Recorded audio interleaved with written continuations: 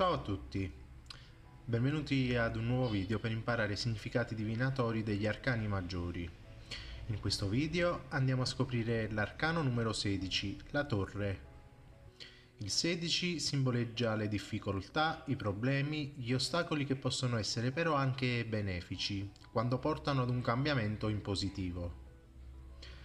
La sua riduzione, quindi 1 più 6, dà 7, numero perfetto, e questo rende il numero 16 particolarmente ambizioso ed orgoglioso.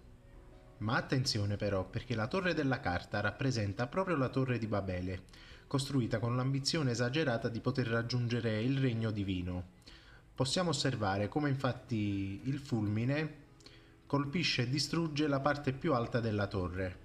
Possiamo notare come due personaggi precipitano dalla torre, uno di essi è colpito da una pietra il messaggio della carta è alquanto chiaro. Costruiamo, alziamo le nostre torri, siamo pure ambiziosi, ma occhio a non strafare. Stiamo attenti e non esageriamo, soprattutto non lasciamoci trasportare da un'ambizione eccessiva, perché questo porterà al crollo sicuro tutto ciò che abbiamo progettato e costruito. Ecco il significato primario della carta, che ci mette in guardia dall'essere troppo arroganti, troppo ambiziosi, Stiamo attenti perché tutte le nostre certezze possono crollare in un attimo. Veniamo ora ai significati divinatori della carta al positivo. Più pesante capovolta che dritta, la torre ci mette in guardia e ci preannuncia un pericolo che non bisogna sottovalutare. L'arcano sembra mettere in guardia il consultante. Bisogna stare attenti e procedere con cautela, in quanto proseguendo con cocciutaggine ed eccessivo orgoglio, il consultante sta rischiando di far precipitare completamente la situazione. Così proseguendo, infatti, la caduta, sempre ammesso che non sia già avvenuta, è prossima. E se così fosse, al consultante non resta altro da fare che rialzarsi, rimboccarsi le maniche, fare tesoro di tutto quello che è successo e che lo ha portato a questo crollo, e quindi a proseguire poi il suo cammino, a patto ovviamente di aver imparato la lezione. La torre può indicare un cambiamento improvviso, drastico, che potrà anche essere doloroso, ma assolutamente necessario può segnalare che la situazione nella quale si trova il consultante è ormai arrivata al capolinea e bisogna trovare la forza di voltare pagina, di reagire e di andare avanti. In generale, quindi, la torre segnala eventi inattesi, improvvisi, che arrivano nella vita del consultante.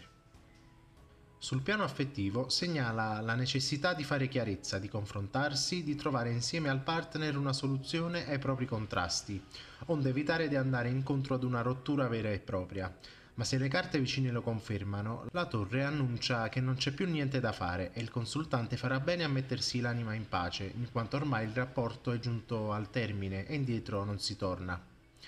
Può indicare in generale anche la necessità di mettere da parte il proprio orgoglio, la, propria arroganza, che non fanno bene al rapporto di coppia. In definitiva può indicare una rottura netta, ma che si rivelerà positiva in seguito per il consultante.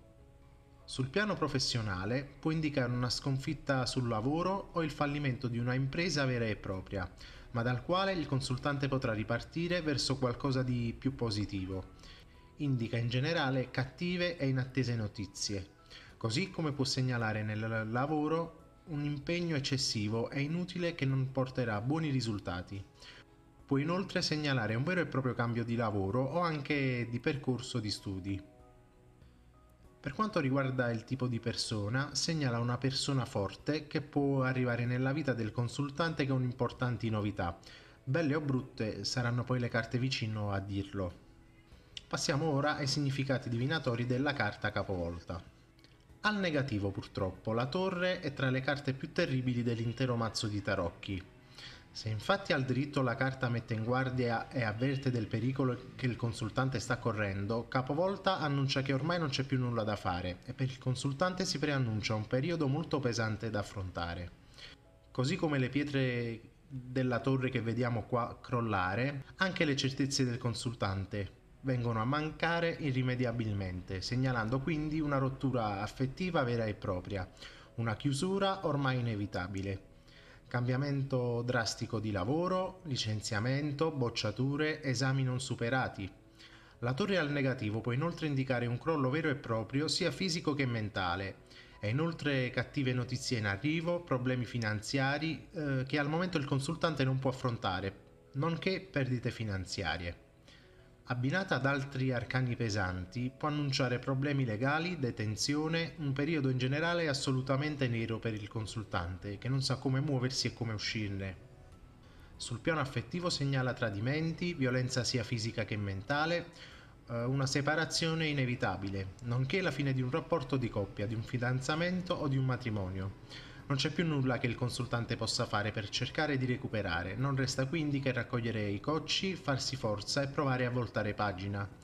Segnala inoltre una rottura definitiva, un'amicizia che si rompe irrimediabilmente, contrasti e discussioni molto pesanti anche con amici e parenti.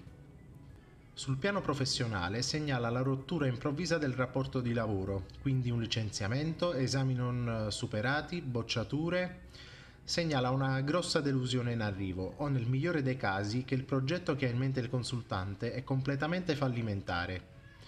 Indica crisi finanziaria, perdita di denaro, cause perse, debiti e spese pesanti da affrontare.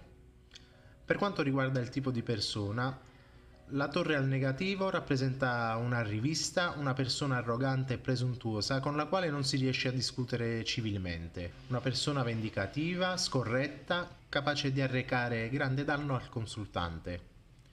Per quanto riguarda i tempi di realizzazione di questo arcano, essi sono piuttosto rapidi.